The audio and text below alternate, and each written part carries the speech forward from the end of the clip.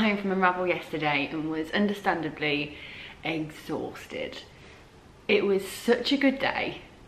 Like, I knew it would be fun, but I, I completely underestimated just how fun it would be. What do you need, darling? hi?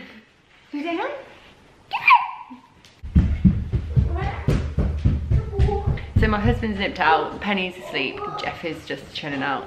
Um, so apologies if I get interrupted again. So yeah, it was incredible. It was such a long day. So um, my friend Anna drove to me.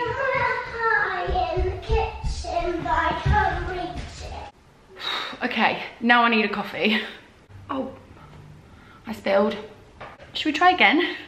So yeah, Unravel was amazing. My friend Anna got to me for about 8 o'clock in the morning and then we set off from my house and it took us about an hour and a half to get there and it was a really easy drive and I was quite nervous about the drive but it was absolutely fine. And when we got there, I was a little bit like, I was nervous and full of adrenaline and I was like a bit shaky and a bit like, oh my gosh, starting to feel a bit overwhelmed. So Anna was like, should we just have a coffee first? And I was like, yeah. So we found one of her friends that was also going and we sat down and had a coffee and a pastry and just kind of regrouped for a minute really and kind of took it all in and was like, right, okay, let's go. It was massive it was so much bigger than I thought it would be. Like, I don't really know what I expected, but I thought maybe like one big room with stuff in, but there was loads and loads of different rooms and a really lovely cafe and it was just brilliant and obviously like full of people who love to knit and do yarn crafts so it was like I'd come to my spirit home it was so so good and we spent a lot of time like spotting people's jumpers and um, guessing what the pattern was and trying to remember what the patterns were. We saw a lot of love notes. We saw, um, what else did we see? So many Stephen West shawls. We definitely need to make a bingo card for next year.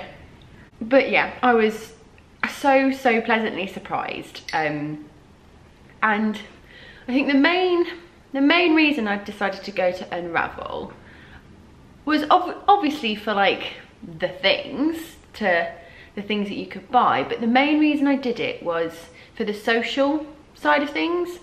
Now, if you know anything about me, you might know that I struggle with that kind of thing. the idea of like going to a new place and talking to strangers and people I've never met before normally would just be like, hell no. But I don't know, I just had the urge to step out of my comfort zone and buy these tickets and, and go there.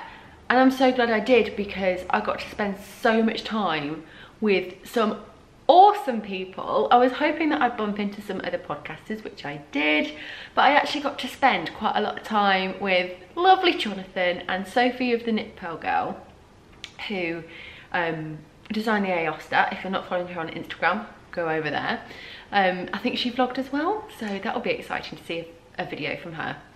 But yeah, we got to spend loads and loads of time together, which was really nice because we, we talk online all the time, and you feel like, oh, well, these are my friends, but then there's that part of it that's like, well, we've never actually met, so are we? And now it's like, I feel like I can say, yes, we, we really are friends, and I had such a good time, and I'm just gonna like keep gushing. so let's show you what I got. I, the only thing that I knew I wanted to come away with really was a project bag. Now, obviously I've got the project bags that my mum makes for me, um, and they're brilliant because they're big, you can get lots in them, and they're good for kind of like transporting between places. However, I wanted something that was going to be kind of more portable, like in general. So quite often, mainly on the days that I'm on my own and the kids are at nursery actually, I'll often go into town, do a few jobs, where I only need to take my like my wallet. I, I don't need a key because the car doesn't have a key and but I want to take my knitting with me because I'll usually find the time to sit in a cafe for half an hour. But I don't want to take a big old project bag with me. And I also don't want to put my knitting in my like backpack because that's like full of snacks and wipes and mum stuff. Um, so I was like, I want a project bag that is going to be good for using as an actual bag as well, something a little bit more utility, something quite hard wearing. And before Unravel, I didn't look at any of the stall holders that were going to be there. Some of them had popped up on my Instagram, but I hadn't looked at all at who was going to be there. When we got there and sat down for a coffee, I got my programme and I had a little look. And one of the first things I saw was Hide and Hammer. Now, if you've watched the Jonathan Days podcast, you will know that he is a big old fan of the Hide and Hammer and I finally understand why. The moment I saw them in real life, it was just like, this is the one. And I didn't buy one straight away. I went around the whole show and had a look at everything and I did see a few other nice ones. I saw some really beautiful project bags at the Fibre Fox, which I'll link below. And lots of other little kind of like beautifully sewn handmade ones, but they weren't the type of bag that I would like carry around with me. I wanted something that looked more like a bag. So when I got to Hide and Hammer, it was like, this is it's going to be the one. I didn't need a massive one um, because if I'm going out and about, I tend not to take sweater projects or if I do, it's like the beginning of a sweater project when it's not very big yet or it's socks or an accessory or something. Um, so I had a little chat with a lovely lady, can't remember her name, but I'll pop it below and obviously I'll link Hide and Hammer below. But I had a really good chat with her and she was talking to me about the one that I chose and she was like, you can get about 300 grams of yarn in it. And I'm like, that little piece of information is like what you get when you go from a small business who loves what they do and makes all their own products. It's like, you know exactly how much yarn will get in that bag. And that's the information I needed. So she said 300 grams of yarn comfortably, 200 grams if you want to have your phone and your wallet and stuff in there as well. So, are you ready? It took me ages to decide. She had some leopard printy ones, which I was so close to getting. But then when I thought about like my favorite wool coat that I wear and the kind of colors that I wear, like it didn't really go with any of that. And this is something that I want to have as like an accessory. It's like a, almost like a garment in itself. Anyway, here's what I got. It's called the number three. And I went for this kind of ochre mustard tan colour because I mean it's it's just so me. And the handles are almost exactly the same colour as my wool coat. So yeah. And I'm so so pleased with it. I'm so excited to like get out with it and take it knitting. So take it knitting take it somewhere for knitting. Oh my God, you see, I'm still a little bit like adrenaline from yesterday. So as you can see, and I'll do some cutaways, I don't really need to say that anymore, do I? Um, so we've got leather and, and metal hardware, and you can adjust the length of your strap here, and then it just pops off here. And it's kind of like, it reminds me of like a paper bag, like, and I really like that kind of like shape and that feel. I like that if I really needed to, I could put quite a bit of stuff in here and just like carry it. Um, or it just like folds down to close it and there's no like zips, there's no like drawstrings or anything. It's just compact and everything you need. Um, so I, oh, I've actually put all the other stuff that I bought in here because I did actually end up buying 300 grams of yarn and I wanted to see if it fitted, which it did. So this is what it looks like in general. This is like the handle you use for carrying it. And inside, I think the idea is you fold it down. I'll do a quick botch job of it. The inside you have, again, like so cleverly thought out. You have one, one big pocket where you could chuck your phone in or whatever. And then you've got, you can see from the outside actually, you can see the stitching. This is the stitching of the pockets on the inside. So you've got some really long, slim pockets. Perfect for knitting needles. Like you wind up your circulars and you pop them in and I could, um, like your measuring tape and all that kind of stuff. So it's the perfect bag designed for this craft, but just so beautifully done, so tasteful and modern and in my opinion, worth every penny. Definitely higher end for sure. And it's probably not something I'll be buying all the time, but if I get on with this one I can definitely see myself owning some more. She had these beautiful ones that were like little bucket bags with a long strap designed for knitting whilst walking. And though I don't really have the opportunity to do that at the moment it is something that I can do and I do quite enjoy doing. So I'm going to keep those in mind for future. So that was probably that well that was my biggest purchase and the one I think I'm the most excited about. So we did two like loops of everything. We went around the first time to kind of scope everything out and then we went on the second time to do the purchasing but on the first time I did buy a skein of sock yarn because I knew I was really really drawn to it I've got an idea for a sock pattern in my head and I thought this would be really perfect for it. It's a cable sock pattern, so I didn't want anything speckled or variegated or anything like that. I wanted something neutral and warm but still tonal. So when I saw this, which basically matches this, I was like, hell yeah. And it's from a dyer called uh, Rainbow Heirloom, hand dyed in Edinburgh. Never heard of this person before. She was really lovely. She had loads of different colours and different bases. And um, I've lost my train of thought.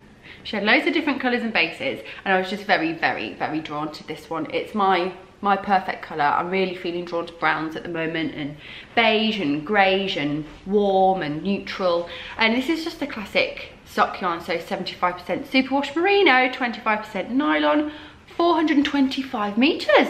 Generous. So yeah, this will be becoming a pair of socks sometime soon. I'm not sure how soon, but pretty soon. So yeah, that was my first yarn purchase. And then my second and only other yarn purchase was not planned. So I don't really have any yarn needs at the moment. And I, so I told myself I was only going to buy something if I was really drawn to it and could think of a project that it would be used for and that I wanted to make. And that happened right towards the end. And again, like heavily inspired by Jonathan. We were at the Walcot, yeah, Walcot, is it, well, Walcot, Walcot, Walcot, Wal, Walcot, Jonathan, you tell me, Walcot Yarns stall, which I'd seen before and I'd looked at it on and I was like, oh yes, I've heard of this brand, I've seen it before. Um, but I wasn't particularly drawn to anything and I didn't see the yarn that I bought the first time round. Then when we were going around the second time, and obviously Jonathan was with us, so he was chatting with the owners and stuff, I had a little bit longer to kind of look and right at the bottom of their display was this for the girl who isn't normally into colour, then I'm surprised myself with this. However, I do not intend to make myself something with this. I couldn't wear this colour, but my children could. So this is the Walcot Yarns Opus and I, could, I couldn't believe how soft it was when I touched it. It's 70% Argentinian merino, not superwash, and 30% baby alpaca. And you can tell, it's just, it's like merino and then some, because this is merino, it's not superwash, and it's still got, it's very, very soft, but it's got a slight dryness to it. This is the double Sunday from Sandnes Garn and Petite Knit. Whereas this has a just a little bit more of a smoothness and softness to it and that'll be from the baby alpaca and this color it just filled me with so much joy i've got a feeling it's because one of my test knitters for the souffle is doing a bright yellow one and i'm so excited to see it come to life and i think this color has just been in the back of my mind. And so when I saw this, I was like, wow. And then I thought, oh, Little Sparks Mini. I need to make another one because the red one that I made for P is in a yarn that I won't recommend for the pattern because it's too, too thin, it's too fine. Um, so I needed to make a new one anyway. And when I saw this, I thought, well, it's DK, it's three to four millimeter needle, so it might be a bit small, but fortunately, Jonathan was wearing a jumper completely knit in Opus. So I was able to kind of like hold his sleeve up to my sleeve and like stitches look pretty much the same. And his was knit on 3.75 millimeter needles. So I thought well if I go up to four then we should be all right. So this is going to become a little Sparks mini one that I can hopefully suggest the yarn for. And I do really like the idea of, of being able to recommend a smaller British yarn um, maker within my patterns. Um, obviously I'm all about the big yarn as well, like I'm, I'm not a yarn snob, I'm like, it's all good for me. But if I can, you know, go local, then I will. So yes, I saw this. I thought, little sparks yellow. And then I think it was Anna was like, oh, yellow for the top, like a sunshine. And then it was just like ding, ding, ding, ding, ding, everything lined up. And it was like, yes, oh my gosh, can you imagine? So where it's white here, this would be yellow. And the bottom part of it would be white. So it will look like a little sunshine. I'm a little bit worried I don't have enough of this, but I think it's not gonna be difficult for me to get more of this. Um, this is exactly the same, but in the white. This is, oh, the color, by the way, this is splashed white and this is Bumblebee. Um, so yeah, if I need more of this, I can get more of this. Now, this was, again, it, describes itself as indulgent fibre blends and the price definitely reflects that. I think this was £24 a skein. So expensive. However, I think you're getting what you pay for here. It's, um, Walcot yarns are ethical, sustainable, and I think that's reflected in the price. And obviously I bought a very small quantity of it. A little bit indulgent for a child sweater potentially, but I'm gonna make it in my son's size. So he can wear it now if he wants to, and when he's too big for it, my daughter can then wear it, or I'll just keep it and it will be beautiful for photos and like something to have. So yeah, there you go. That was probably my main yarn purchase and I'm so excited. Honestly, I've had to use all my willpower not to um, wind this up last night and cast it on, even though I've got like three design projects on the go at the moment. But I think one of the reasons I've been held back with working on this pattern and getting it finished, edited and tested and stuff is I knew I had to knit another one of the kids and I just wasn't inspired to do that. But this yarn has fully relit that fire. So yay! And then one tiny little final purchase, which was again, inspired by Jonathan. Can you just be my personal shopper, Jonathan? Like, honestly, that would be the dream.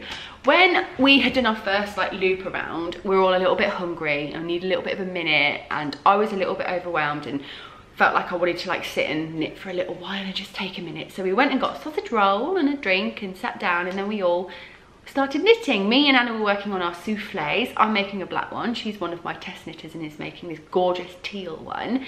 And Jonathan was working on some curio socks and he was using little teeny tiny little needles. And I was like, oh God, how can you do it? How can you do it? I just can't. And he was like, oh, with my needles, one is longer than the other. And I was like, Ooh, he let me have a little go. And the problem I find with really small circular needles is those tips the way I knit, I hold my needle quite far down in my right hand. Oh my God, I literally just did the left and right thing in my right hand. So to be knitting like this with two like tiny little tips, I can't do it and it feels very strange and uncomfortable in my hands. I know, I know I could probably get used to it, but I don't particularly want to. But I am starting to get a little bit like, Magic Loop is great, it's fine, but it does take that little bit longer to get through those sleeves and through those sock legs because you're constantly like changing it around. And I do it quite mindlessly now. I do it like pretty quick. But if I could get to grips with small circulars I feel like it would help me speed things up. And at the moment I cannot keep on top of my own ideas. I cannot knit my designs quick enough. So if this can help me speed things up brilliant. Anyway it is the Sock Wonder! And that was my that was my Jonathan Day voice. um, yeah, Sock Wonder. And so it's by Addi and you can see that one side is teeny and one side is a little bit longer and you hold this in your right hand. So um, I don't know how it would work for continental knitters. I guess it would still be the same because you're still picking with your right hand. But for me as an English um, continental, pick a continental yeah is it picking? And then I'm an English flicker so I don't really like pick up my yarn and wrap it round. I just kind of like bloop it round. So for me it's kind of like between continental and English. But for me I think these could be really good. The only problem was the stall holder that had them didn't have them in 2.5 which is what most people knit socks on so I couldn't get them for socks but I thought well I'm about to hit the sleeve on my on my black souffle so I'll get the four millimeter needle and see how it goes for the sleeve and then I've ordered some 2.5s from Amazon so I'm really excited to give these a go because like I think it's always a good idea to try something new. As a knitter, it's good to try different needles, it's good to try different ways of knitting purely for hand health and all that kind of stuff. So yeah, that was what I got from Unravel. I had such a wonderful time. I even got to meet some of you guys, which is really, really nice. I spoke to a few of you and it it was just really nice to meet real life people. Like, I didn't quite know what to say a few times, but it was really, really lovely. So thank you to those of you who came up to me and said hello. Pleasure to meet you. Um, I cannot wait for next year's Unravel. There's another one in September, but I'm not sure if I will need to go then. And I think in September I'm going to do like a craft show with my mum and my sister. So I don't know if I'll do Unravel again this year. However, I'm definitely going next year and I'm booking a hotel room. I'm going for a night out afterwards. And if anyone wants to join, wicked. So thank you for watching this little extra bonus video all about Unravel. I will be filming the next episode of the Knitting Pickle podcast in, a, in the next week. I was supposed to do it last week, but I was not well I had a rough week, my husband was away, Penny basically didn't sleep, I didn't sleep, and on podcast filming days I just had zero energy and I didn't want to like fake it because that's not cool. So I'm feeling much better now and looking forward to filming on maybe Wednesday because I've got a lot to talk about. I won't feature this stuff obviously because I've already talked about it, but yeah, there's lots to catch you up on. So I will see you in the next episode. Have a fabulous day. Bye.